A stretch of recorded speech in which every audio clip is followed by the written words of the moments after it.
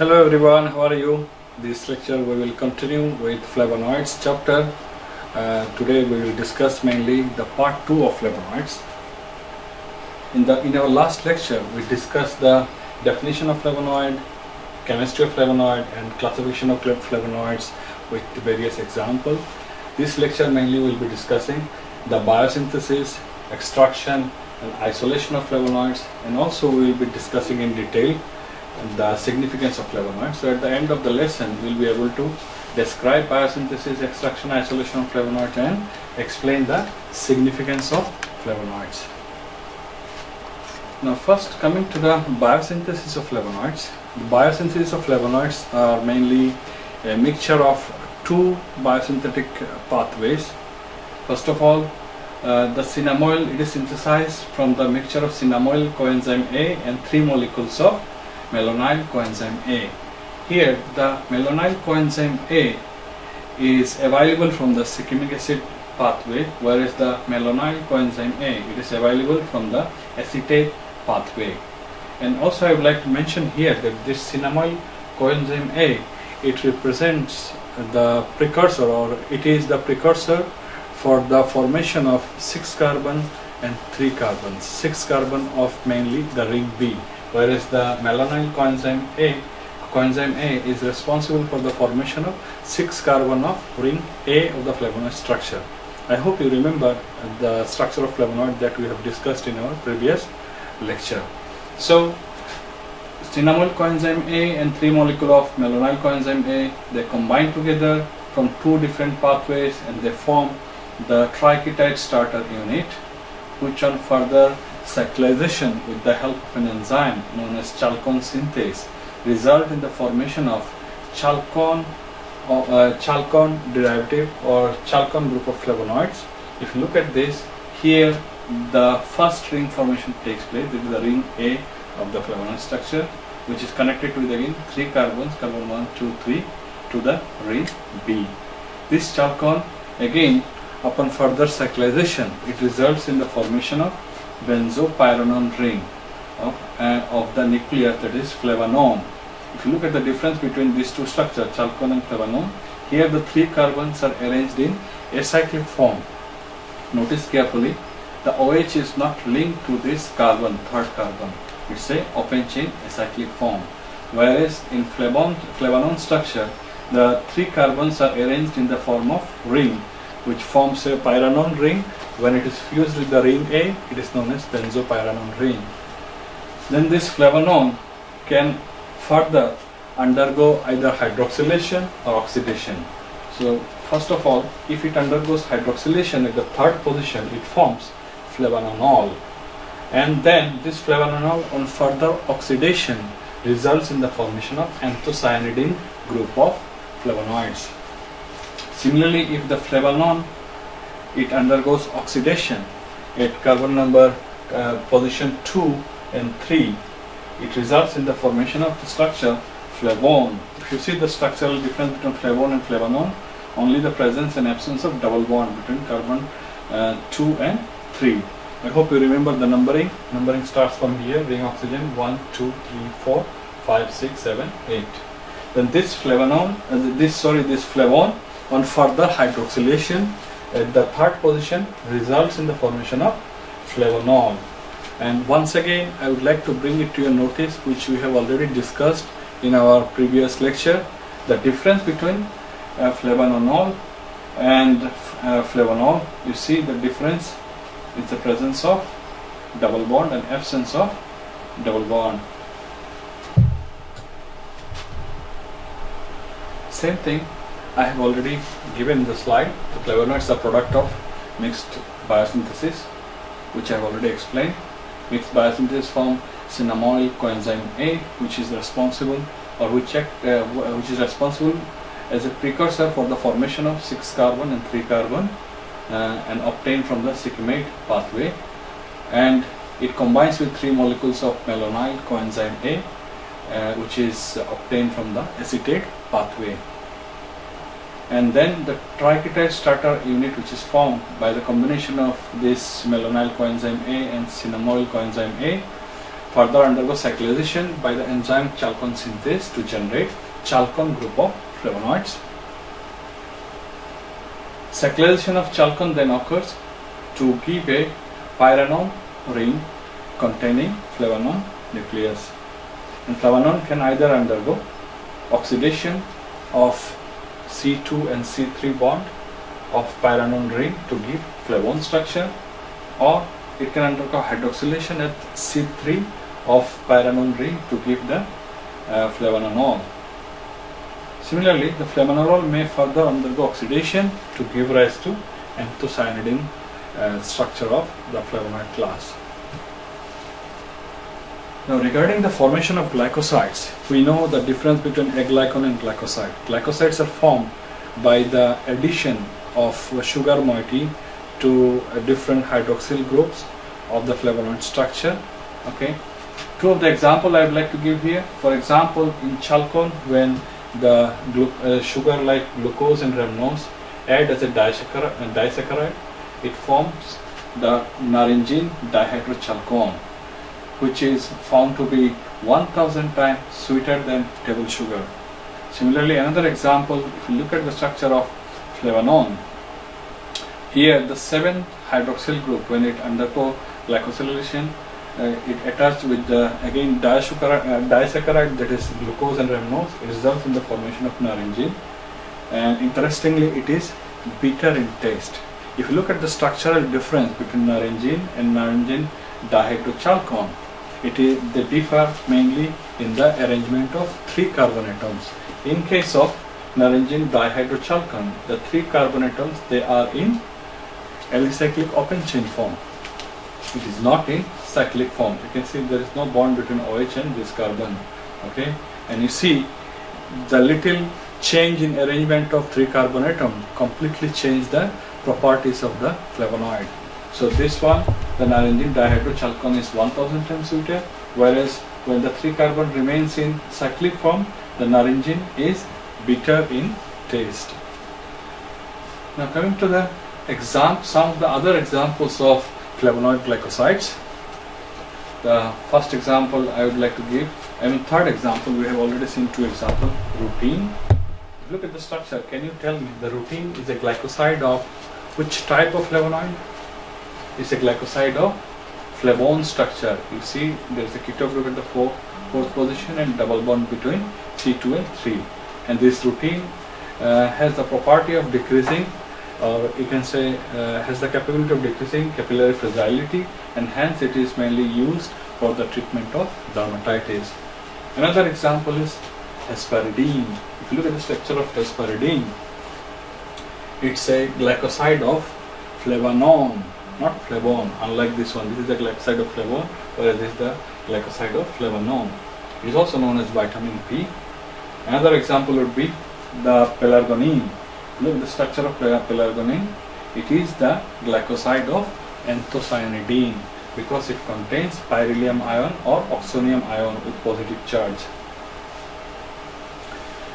Now coming to the extraction and isolation process of flavonoids. Since flavonoids are uh, polyphenolic in nature, they are mainly extracted from plants okay, uh, with ethanol, methanol or water.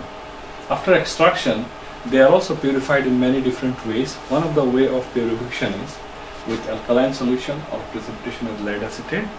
And regarding separation again, they can be separated by following different types of chromatography or and where or in other words you can say different class of flavonoids can be separated by column chromatography one of the example which is uh, conventionally used most frequently okay other than column chromatography also you can use different other types of chromatographic techniques to separate the different types of flavonoid from the extract.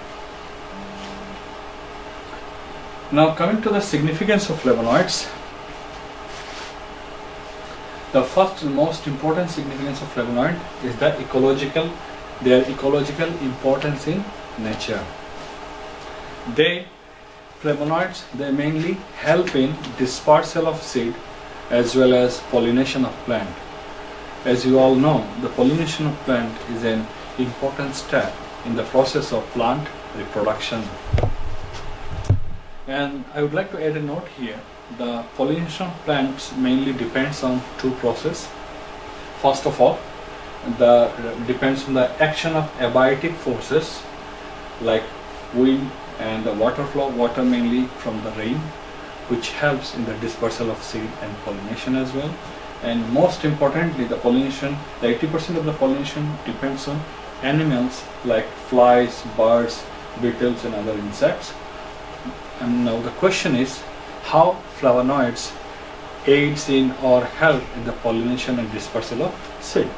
Because if you remember, we discussed in the last lecture, the flavonoids act as a color attractants to insects and birds. Color attracting because flavonoids are responsible for giving not only yellow color but different other color to the different parts of the plants. So acting as a color attractant, they attract the birds, flies and when the birds and flies come and they go away, uh, they take away the various pollen grains and seeds along with them and helps to disperse them to other part of the region and it is and this process is also uh, important for evolution of the plant species.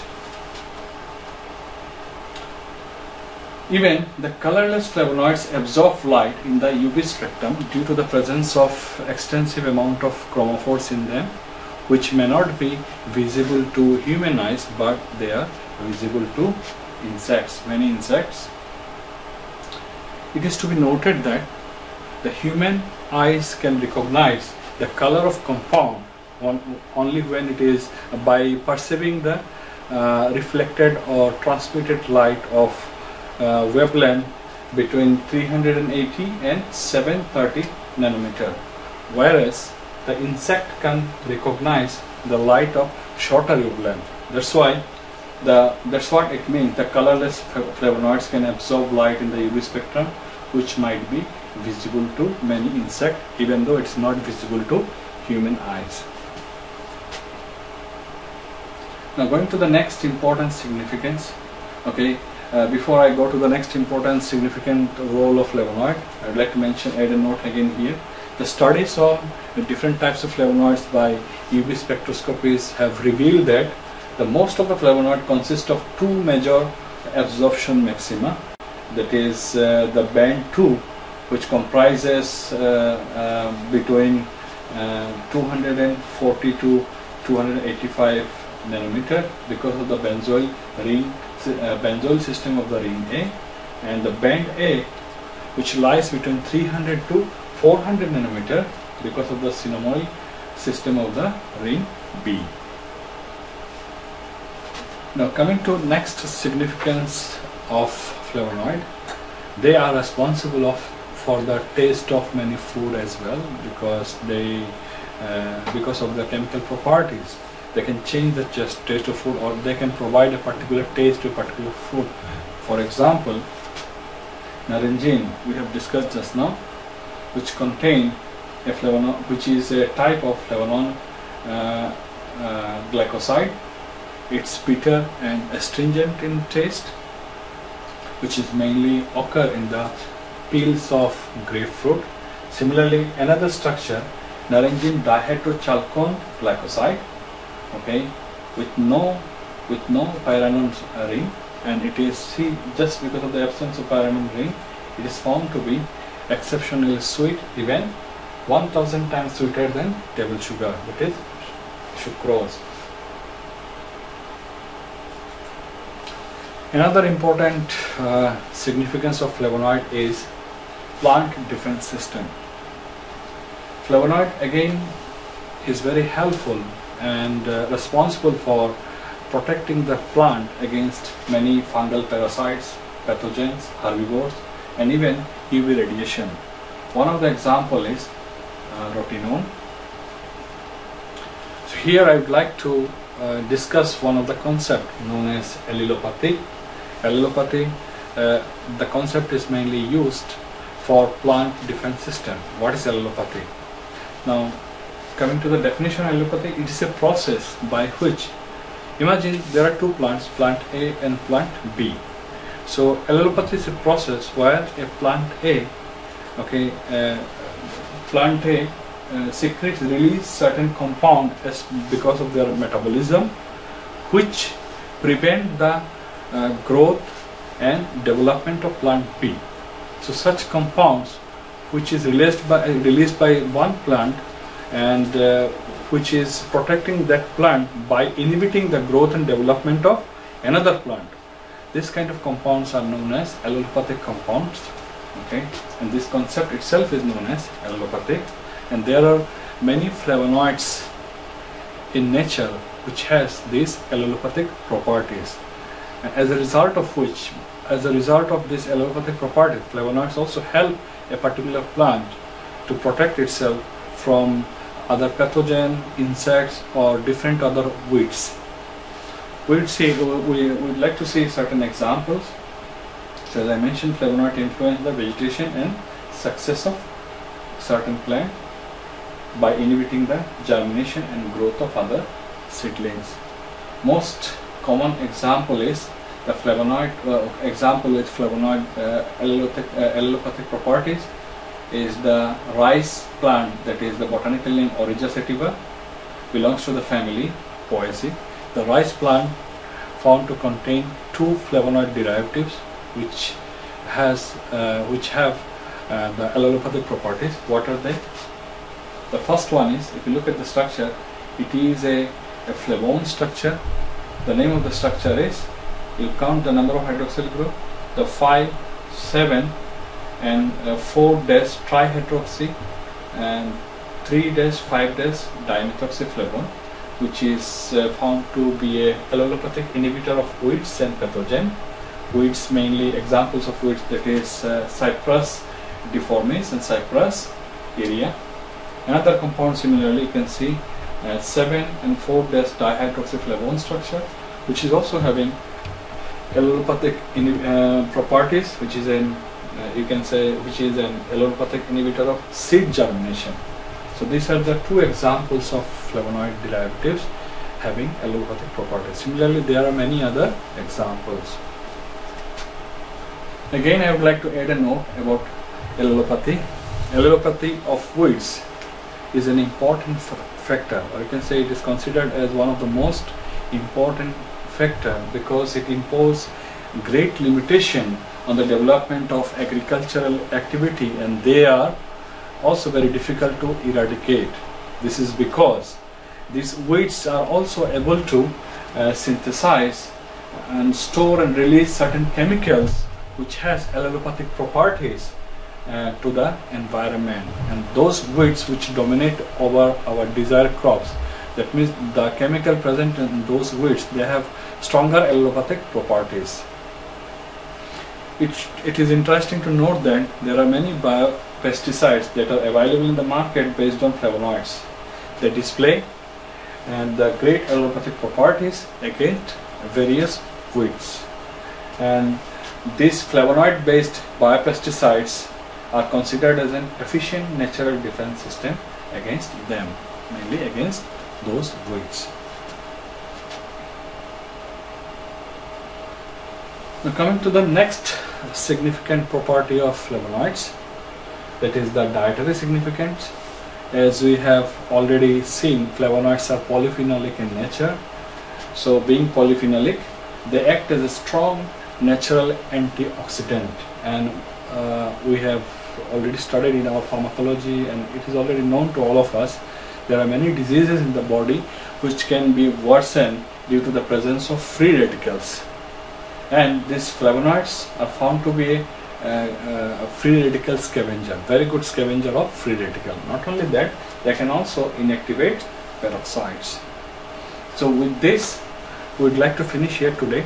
We'll continue with part 2, uh, uh, sorry, the part 3 in our next lecture. Thank you for your attention. See you again.